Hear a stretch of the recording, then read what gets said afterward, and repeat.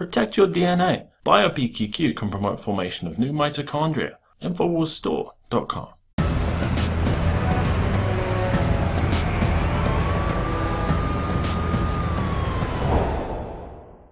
Hey, bud, let's party. This is Ashley Beckford reporting for Infowars.com, and I'm here to tell you how the federal government is actually grabbing guns from law abiding citizens. I have an article here from the Associated Press. U.S. court upholds ban on gun sales to marijuana cardholders. A federal ban on the sale of guns to medical marijuana cardholders does not violate the Second Amendment, according to a federal appeals court.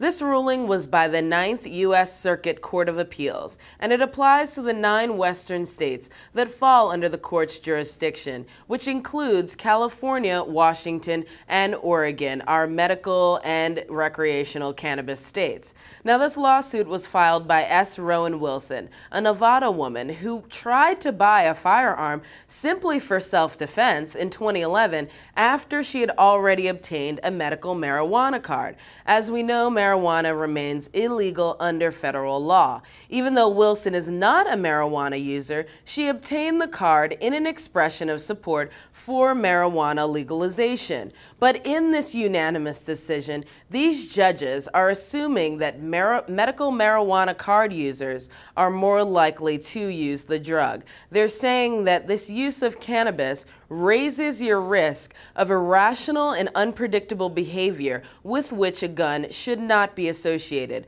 Wilson's attorney is saying he's going to appeal the decision and he's going to either present it to the same panel of judges that issued the original ruling, a larger panel of that same circuit, circuit court, or he's going to take it all the way to the U.S. Supreme Court. And he's saying that even if you're on the no fly list, your constitutional right is still protected.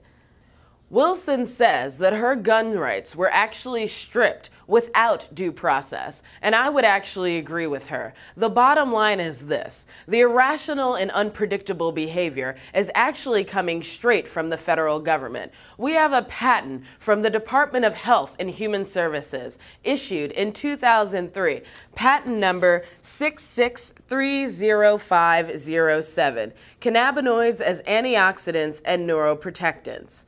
We have the federal government who is actually saying blatantly even though cannabis is a schedule 1 drug that they're saying has no medical benefit no medicinal benefit whatsoever they're saying blatantly in this patent that they issued and was approved in 2003 that cannabis actually is a medicine is heroin worse for someone's health than marijuana all illegal drugs are are bad. Does this mean you don't know?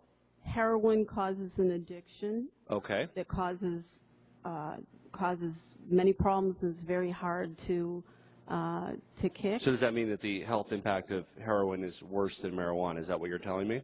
Um, I, I think I think you're asking a subjective question. No, it's objective. Uh, just looking at the science, this is your area of expertise.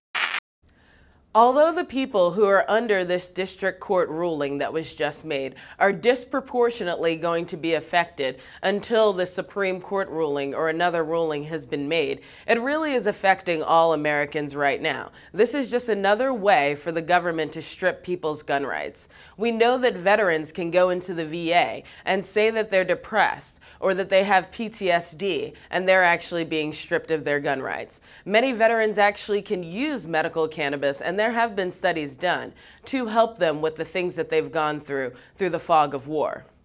How can a federal government be legitimate when it actually criminalizes people who have served this country? How can a federal government be legitimate when it wants to throw out the Constitution, the founding documents of our country?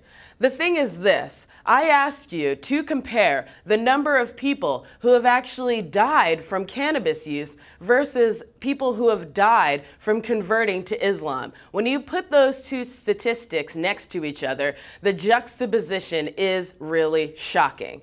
The bottom line is this no one's rights should be infringed. I agree with Tyson Beckford when he was talking about Matt Damon on TMZ, and he said we should be 2A all day.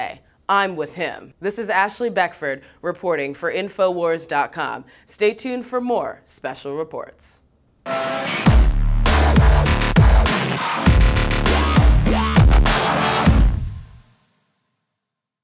Buckley, tell us about Alexa Pure Breeze, discounted over 25% off as an introductory promotion. It's the Alexa Pure Breeze. It's an energy efficient HEPA ion cluster air purification system. It has a four stage purification process. It has a HEPA filter, pre filters, and a carbon activated filters. And the most amazing thing about it is that it has this patented ion cluster technology that kills airborne microbes with a final byproduct of clean water. So this is non toxic. It's a beautiful unit. It really looks good. I mean, it will look beautiful in your house in a corner. The Alexa Pure Breeze, which operates as a fan, it's super quiet. The cheapest equivalent unit costs $259.95, and there are other units that are up to 899 to $1,000 that do exactly what this unit does, but they're not as quiet because this one has a silent mode which runs at 16 decibels. Go and just look up online the toxicity of being inside all the time. Great job, Alexa Pure. Infowarsstore.com. Buckley, thank you so much, my friend.